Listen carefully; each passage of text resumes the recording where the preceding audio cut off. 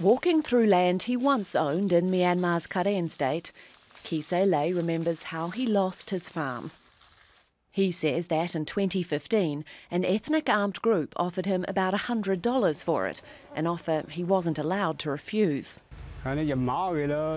They forced me to take the money. With that amount of money, we could buy rice and other supplies for our family. So my wife took the money and kept it. Otherwise, we wouldn't get anything for the land. This property's now a rubber tree plantation.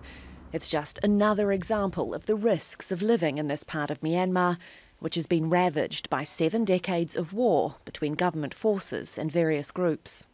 The fight for control of the region and its resources has seen hundreds of thousands of hectares of land confiscated.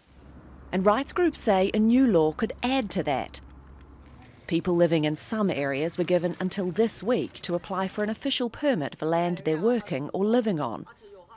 The reform's part of government measures to bring investment and development to rural areas. Critics like Alex Saw say it's just a legal way to seize land.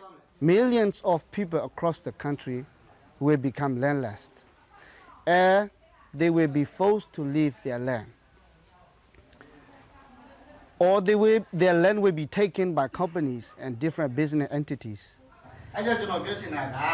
He's teaching people in Nong Ta La village about the complexities of the law. Here, property ownership is often based on traditional rights, which means many people have nothing to prove they own their house and land. Mato Air bought her house 10 years ago, but doesn't have any papers. She'd planned to pass her property on to her daughter. Now she's worried that won't be possible. I don't have any hope or expect any miracles. I have no idea what I should be doing. The Karen National Union, which controls the area, says the law could risk its fragile ceasefire with the government. The government is using this vacant fallow land management law to expand the administration into the uh, armed organizations' territories.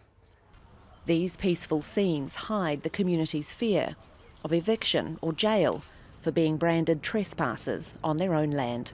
Alexi O'Brien, Al Jazeera.